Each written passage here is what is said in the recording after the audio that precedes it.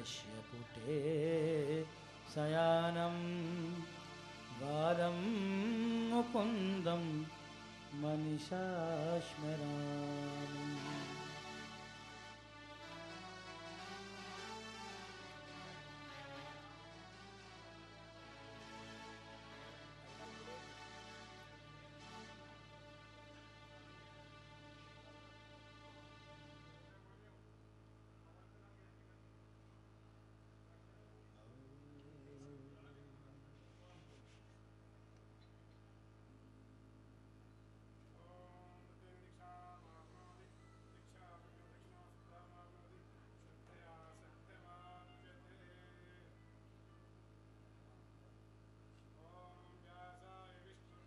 पाय विष्णवे, नमो वै ब्रह्महृदये वासिष्ठाय नमो नमः। गुरुर्विष्णु, गुरुर्देवो, महेश्वरः, गुरुर्साक्षात् परब्रह्म, तस्मै श्रीगुरुवे नमः। कारं व्याप्तं येन चराचरं, तत्पदं दर्शकं येन, तस्मै श्रीगुरुवे नमः।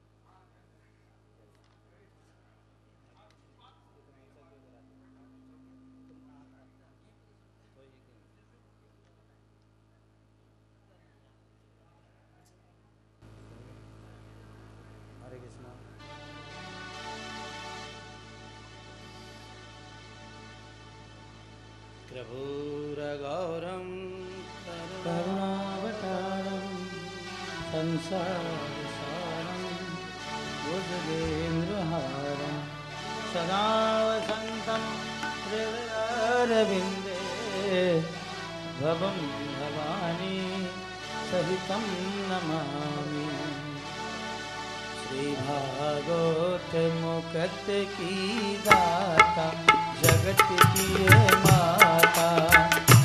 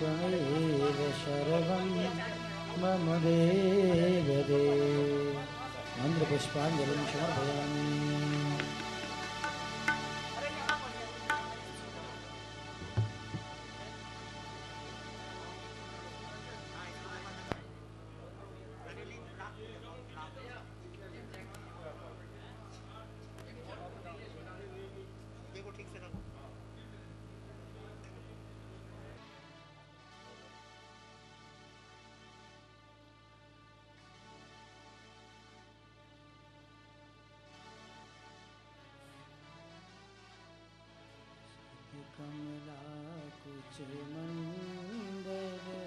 धृतकुण्डल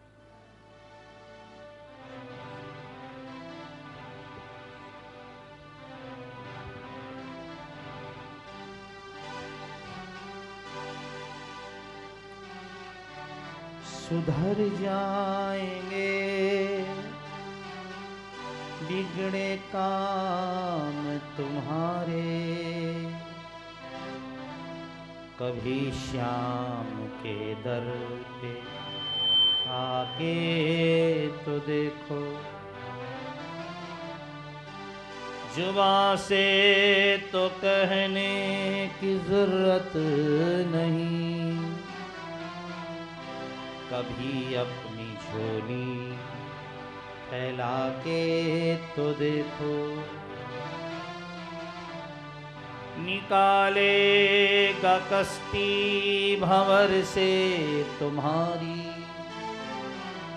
कन्हैया को माझी बना के तो देखो। बड़ा ही दयालु है, बाके बिहारी। कभी तुम उसे आज के तो देखो। बड़ा ही दयालु है बाके बिहारी।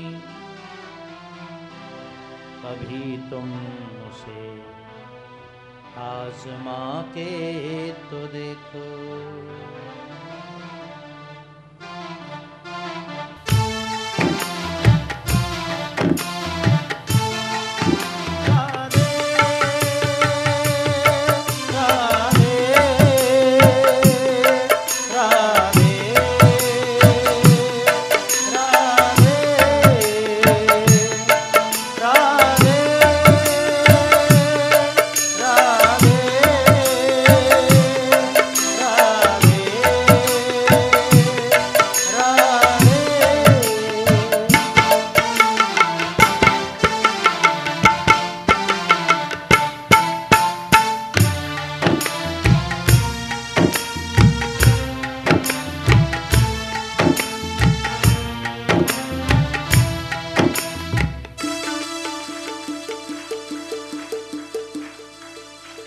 मुरलीधरा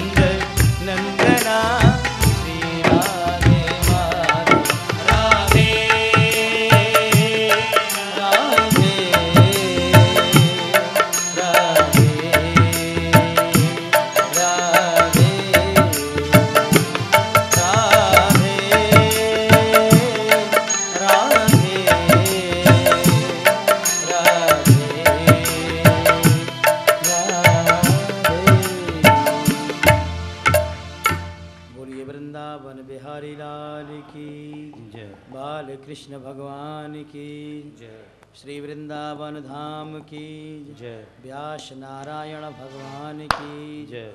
श्री सुखदेव जी महाराज की जय। भागवत भगवान की जय। सदगुरुदेव भगवान की जय। जय जय श्री राधे। जय जय श्री राधे। जय जय श्री राधे।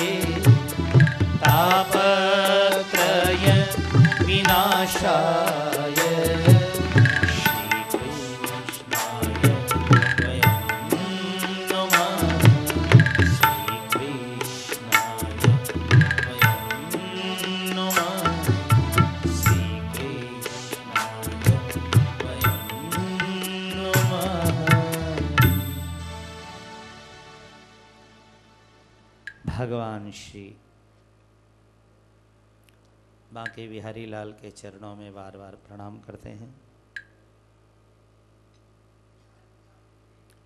बिहारी जी की विशेष अनुकंपा, कृपा, दया का फल होता है जब हमें जीवन में सत्संग सुलभ होता है। राम कृपा विनुशुलभन सोई। तो आज प्रथम दिन है कथा का। कुछ भगवान के पुष्प भगवान के श्री चरणों में समर्पित करते हैं।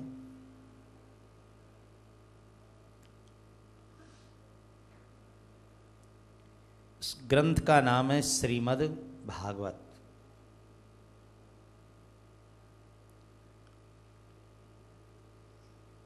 श्रीमद् शब्द होता है मानी श्रेष्ठ श्रेष्ठता से संपन्न। जैसे किसी में तिजोरी में सोना भरा हो, चांदी भरा हो, हीरे भरे हो तो वो एक भरी पूरी तिजोरी है। इसी तरह श्रीमत, इसमें श्री कृष्ण भरा हुआ, पूरा का पूरा। जैसे कटोरे में लबालब दूध भरा हो, घी भरा हो, ऐसी इस पूरे ग्रंथ में श्री कृष्ण भरा हुआ है। बिहारी जी के मंदिर में भगवान का प्रभु का वो एक प्रत्यक्ष रूप दर्शन करने गए थे।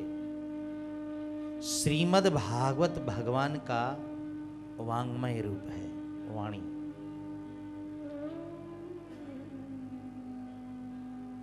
पूरा का पूरा भरा हुआ ग्रंथ।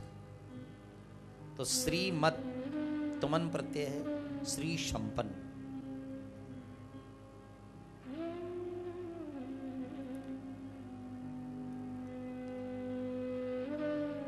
जब भगवान श्री कृष्ण परमधाम जाने लगे तो उद्धव जी ने भगवान श्री कृष्ण के चरणों में प्रणाम किया। तम तो यास्यसि गोविंद। हे गोविंद, आज आप इस धरती को छोड़कर परमधाम जा रहे हो और भविष्यंति ही पुनः खलाहा। आपके जाने के बाद फिर बुरे लोग, फिर गलत लोग हो जाएँगे।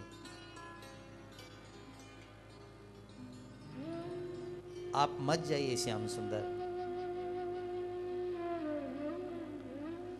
भगवान ने कहा उद्धव हर बार हम गोलोक धाम जाते हैं, साकेत धाम जाते हैं, ब्रह्मलोक जाते हैं लेकिन अब की बार कृष्ण बन अवतार लेने के बाद उद्धव हम कहीं नहीं जाएँगे। कहाँ जा रहेंगे सरकार? तो भगवान ने कहा, अवतार का पूर्ण कार्य करने के बाद मैं कृष्ण, कलिकाल में भी धरती पर ही रहूँगा। क्योंकि वृंदावनम परित्यज्य, वृंदावन को त्याग नहीं कर सकता मैं। मेरे भक्तों का त्याग नहीं कर सकता, संतों का त्याग नहीं कर सकता। इसलिए न साकेत न गोलोक, अब की बार किसी को भी श्री कृष्ण से मिलना हो तो श्रीमद् भागवत जी का श्रवण करना, क्योंकि मैं श्रीमद् भागवत जी में वास करूँगा। जैसे कृष्ण का रामावतार, करुणावतार, कृपावतार, ऐसी भगवान का वाणी का अवतार श्रीमद् भागवत है। तेनेयम वांगमयी मूर्ति प्रत्यक्षावर तते हरे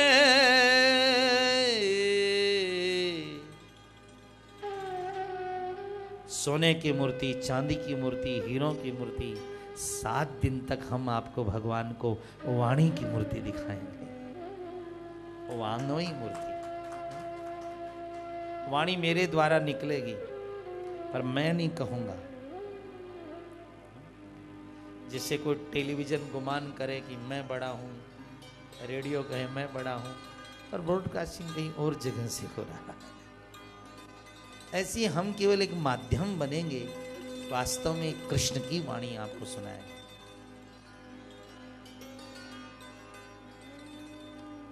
बड़ा बढ़िया मौका लगा है। तो सात दिन भगवान की वाणी की मूर्ति का दर्शन करेंगे। वांगमयी मूर्ति।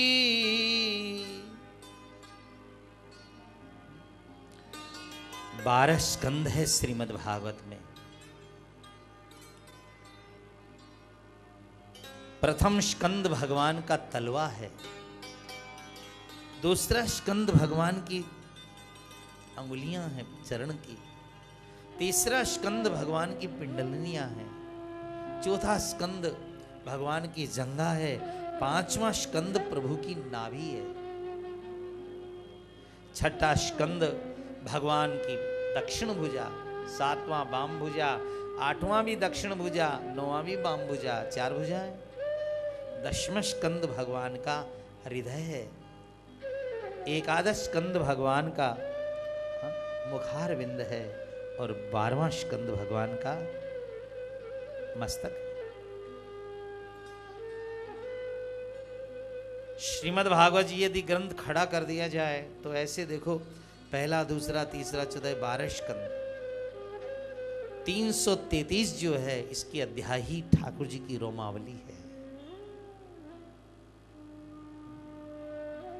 श्री कृष्ण का प्रत्यक्ष रूप श्रीमद भागवती ही है। इसलिए वृंदावन के रहने वाले, चाहे बिहार के रहने वाले, चाहे बंबई के रहने वाले, जिन्हें गोविंद से प्रेम होगा, कनवा से प्रेम होगा, उनको भागवत करवानी ही पड़ेगी, सुननी ही पड़ेगी। क्योंकि कृष्ण तो कलिकाल में भागवत जी में ही रहते हैं।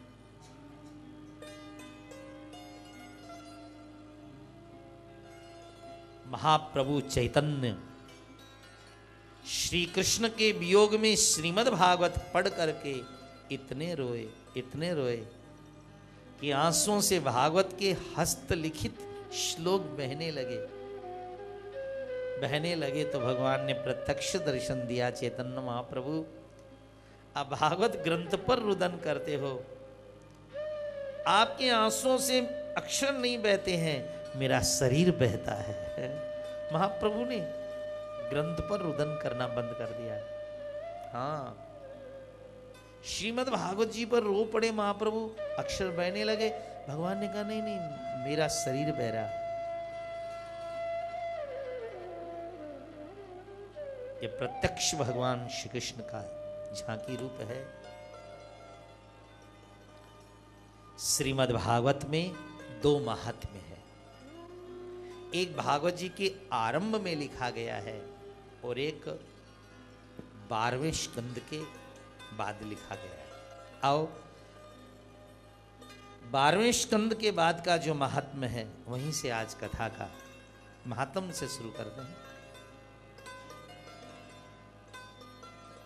जब भगवान कृष्ण परम धाम चले गए, शाप लगा छप्पन कोटि यादव नष्ट हो गए।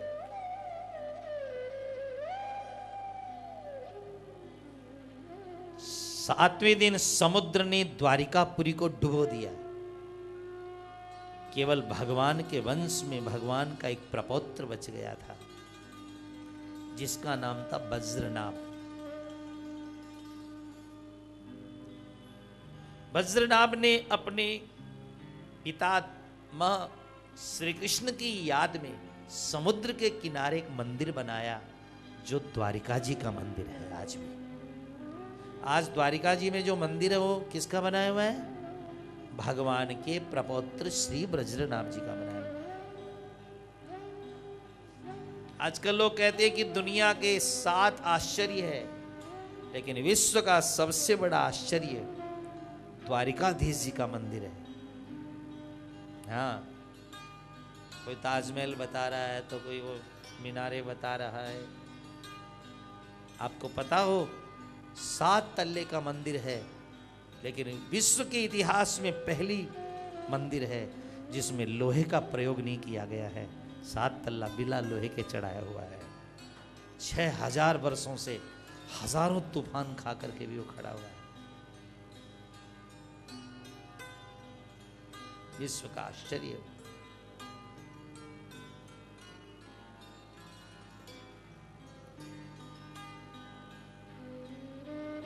वज्रनाभ जो थे, वो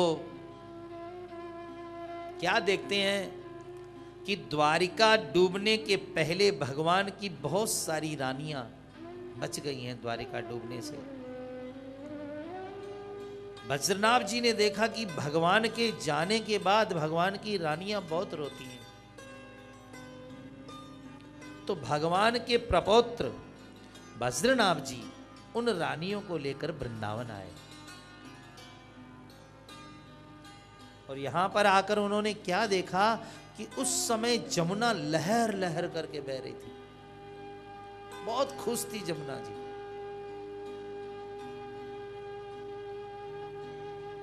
तो रानियों ने जमुना जी से हाथ जोड़ के पूछा कि जमुना मैया श्री कृष्ण के जाने के बाद में, वियोग में हम तो रो रही हैं और तुम इतनी लहरे लहरे हंस रही हो। क्या बात है? जमुना जी ने कहा, श्रीधाम वृंदावन में मैं बहती हूँ। मेरा और श्री कृष्ण का नित्य संयोग है। रोज मिलते हैं हम और कृष्ण। रानियों ने कहा, हमें भी मिलाओ। जमुना जी ने कहा, ऐसे नहीं मिलते कृष्ण। तुम जाकर के श्रीमद् भागवत की कथा सुनो। पहले अधिकार पाओ। तो रानियों ने कहा, हमें श्रीमद् भागवत जी की कथा सुनाएगा कौन? तो जमुना मैया ने कहा, श्री श्री वृंदावन धाम में कुसुम सरोवर है। यात्रा करेंगे तो कुसुम सरोवर है। वहाँ पर बहुत सी लता पता पेड़ पौधे हैं और उन्हीं लता पताओं में एक लता है उद्धव लता। श्री उद्धव जी महाराज यहीं वास करते हैं वृंदावन में। तो तुम कुसुम सरोवर जाकर के उद्धव जी से प्रार्थना करो। यदि उद्धव जी प्रसन्न हो गए तो तुमको श्रीमद् भागवत की कथा सुना देंगे। तुम्हारा भी नित्य संयोग हो जाएगा। रानिया कुसुम सरोवर पर आई और आकर के अब उद्धव जी को कैसे ढूंढे। रानिया बहुत रोई कुसुम सरोवर पर आकर के। घन श्याम तुम्हें ढूँढने जाए कहाँ? कहाँ? तेरा पता पूछने जाए कहाँ कहाँ? घनश्याम तुम्हें ढूँढने जाए कहाँ?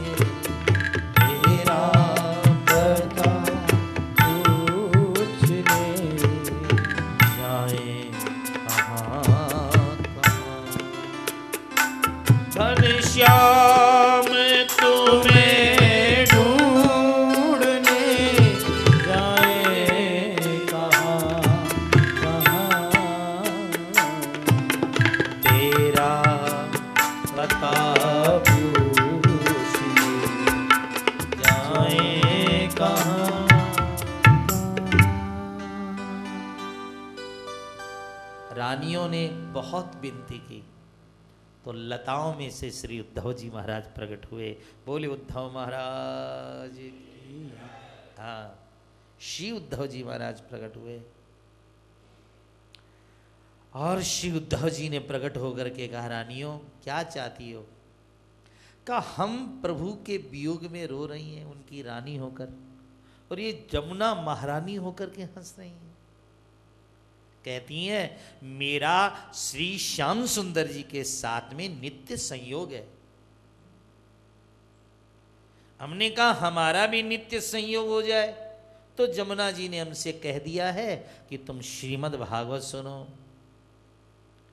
उद्धव जी ने कहा, तुम भगवान की प्रिय रानियाँ हो।